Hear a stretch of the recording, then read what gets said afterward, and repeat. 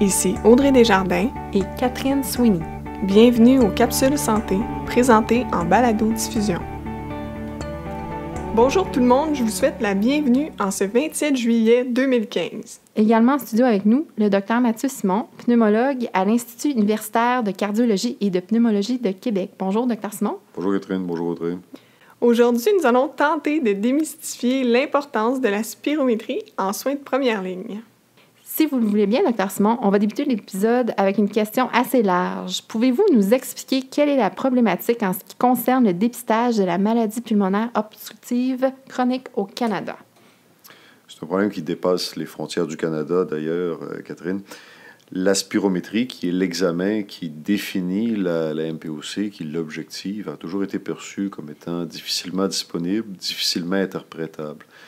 En ce sens, il y a beaucoup de mythologie et on va essayer au cours de, la capsule de briser cette mythologie-là pour amener nos auditeurs à mieux comprendre le rôle de la spirométrie et sa disponibilité. Docteur Simon, est-ce que la spirométrie est vraiment l'examen de choix pour le dépistage de la MPOC? C'est certainement le test le plus objectif, le plus standardisé et probablement le plus facile à obtenir. En mesurant le degré d'obstruction bronchique, la spirométrie confirme dans la majorité des cas un diagnostic de MPOC ou permet de l'exclure et de ramener le praticien sur un algorithme diagnostique différent. Pourriez-vous nous décrire en quelques mots comment un test standard se déroule avec un patient? Alors, le patient est amené dans une salle calme, il est assis, on s'assure qu'il n'a pas fumé depuis un certain temps.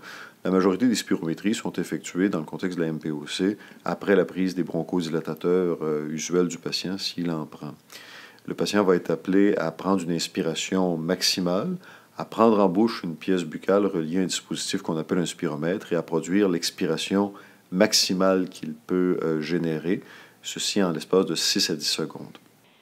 Donc, docteur Simon, pouvez-vous nous expliquer quand le médecin fait une référence pour le bilan de base versus une référence pour une spirométrie? C'est quoi la différence exactement? Alors, la spirométrie est une portion du bilan de base. Le bilan de base, c'est l'assemblage de trois examens, la spirométrie, la mesure des volumes pulmonaires, généralement par plétismographie, et la mesure de la capacité diffusionnelle de la membrane alvéolaire au moyen d'une diffusion au monoxyde de carbone. Les volumes pulmonaires et la diffusion au monoxyde de carbone rajoutent des éléments très intéressants dans le, diagnostic de, de, la MPOC, mais plus dans d'autres maladies, essentiellement des maladies interstitielles. Donc, une spirométrie pour le dépistage et pour la prise en charge de la majorité des MPOC, c'est amplement suffisant. Si je comprends bien, quand un médecin fait une référence pour une spirométrie, euh, il n'aura pas tous les volumes pulmonaires. Donc, à quel moment un bilan de base est nécessaire? Le bilan de base est nécessaire quand on veut trouver quelque chose qui explique la dissonance entre les résultats d'une spirométrie et l'état clinique du patient. Par exemple, un MPOC, qui a une spirométrie relativement épargnée, peut se trouver très essoufflé. Et on trouvera dans un abaissement de la capacité diffusionnelle ou dans de la rétention gazeuse marquée, notée à la plétismographie, une explication et une avenue thérapeutique pour ce patient. D'autres maladies euh, respiratoires, autres que la MPOC, essentiellement des maladies restrictives, sont beaucoup mieux servies par la mesure des volumes et de la DLCO que ne, ne le serait par la simple spirométrie. Est-ce difficile l'accès à une spirométrie? Ça ne devrait pas l'être, et dans les faits, au Québec, ça ne l'est pas. Les, les, gens sont malheureusement peu au courant des endroits où ils peuvent réaliser pour leurs patients une spirométrie. Et à cet effet, on peut se renseigner auprès du réseau québécois pour l'asthme et la MPOC, le RQAM, qui entretient sur son site web une, une, librairie, si vous voulez, une référence des centres où ces examens peuvent, peuvent être effectués. Il est important, quand on arrive dans un milieu, de connaître les ressources qui s'y associent. Et j'invite nos, nos, auditeurs à faire une petite enquête et réaliser qu'autour d'eux, beaucoup de spirométries sont disponibles. Et je crois aussi qu'on va faire un épisode de, de, podcast euh, sur le RQAM, Audrey. Oui, exactement. On va recevoir euh, Mme Patricia Côté, qui est la directrice du RQAM. En ce qui concerne l'interprétation, quand un médecin reçoit un rapport de spirométrie, est-ce que c'est vraiment difficile à interpréter?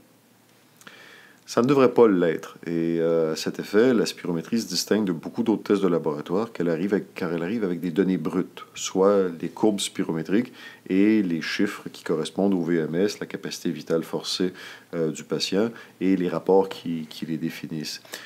Manifestement, il y a un exercice d'interprétation qui doit être fait, et cet exercice-là n'est pas très complexe, mais il faut le faire régulièrement ou être aidé par des outils. Donc, avec toutes ces belles explications, docteur Simon, comment se fait-il que la spirométrie soit si peu utilisée en soins de première ligne? On l'a dit, on l'aperçoit comme compliqué. Ce n'est pas le cas. On l'aperçoit comme inaccessible. Ce n'est pas le cas non plus. Et on l'aperçoit parfois comme pas nécessaire parce que la MPOC est une maladie euh, qui fait, fait souvent l'objet de nihilisme parce que c'est une maladie liée au tabac, qui est une habitude de vie du patient. Mais en ce sens, elle n'est pas différente du diabète, de l'hypertension artérielle et de bien d'autres euh, conditions qui sont effectivement liées à nos habitudes de vie. Si je comprends bien, dans le même ordre d'idée des maladies chroniques, euh, plus la spirométrie est faite tôt, plus la maladie pulmonaire peut être détectée et traitée au stade précoce. Effectivement, Audrey, la détection précoce que permet la spirométrie permet d'une part de de, discuter avec le patient sur des bases fermes de l'indication d'arrêt tabagique et permet généralement de fixer un peu mieux l'action de l'équipe qui va amener le patient à arrêter de fumer. La spirométrie permet également de définir des patients plus vulnérables qui vont avoir besoin d'un suivi plus rapproché, tant en termes de, de prise en charge de leur maladie respiratoire et de leurs symptômes au moyen de thérapeutiques médicamenteuses, d'enseignement, d'accompagnement. Enfin, l'anomalie spirométrique va définir une population qui est plus à risque de développer un cancer pulmonaire et ceux-ci pourront faire l'objet de techniques de dépistage euh, que nous détaillerons dans d'autres euh, moments. D'accord. Est-ce que ça ne pourrait pas avoir, par contre, un effet contraire, par exemple, chez un patient fumeur chez qui la spiro serait normale? Tout à fait. Là, on pense que ce n'est que 15 à 20 des fumeurs qui vont développer une MPOC mais 65% des fumeurs vont décéder d'une condition liée au syndrome métabolique, au syndrome cardiovasculaire, qui sont tributaires de l'usage du tabac. Donc, il faut surtout pas dire à un patient, ben, écoute, je te fais une spirométrie, puis on arrêtera la cigarette si ta spirométrie est anormale. Non, ce serait une erreur. Mais ça permet d'objectiver précocement les dégâts faits par l'habitude et donc d'essayer de convaincre le patient de la quitter. Est-ce qu'on pourrait se passer du test de spirométrie pour estimer le degré d'obstruction bronchique chez un patient juste avec la clinique? Ça, ça, serait fantastique, mais malheureusement, la spirométrie est la seule façon d'absolument objectiver la, la, MPOC. Beaucoup de patients ne présentent qu'une bronchite tabagique simple, pour laquelle le seul traitement est l'arrêt tabagique, qui n'a pas les mêmes impacts sur le devenir euh, du patient qu'une MPOC. Beaucoup de ces patients reçoivent probablement de façon euh, inutile des traitements excessifs. Et un des objectifs de la spirométrie, c'est de rationaliser, en basant sur l'évidence, le traitement, l'utilisation de nos ressources. En résumé, docteur Simon, quels seraient quelques-uns de vos meilleurs conseils à donner aux professionnels de la santé qui nous écoutent présentement? Écoutez, la spirométrie, c'est simple, c'est disponible, faites-la. Ah, super, c'est assez clair, c'est clair. Le message est passé. Merci, Dr. Simon. Merci, Dr. Simon. Merci, Catherine. Merci, Audrey. Restez à l'écoute pour les prochaines capsules.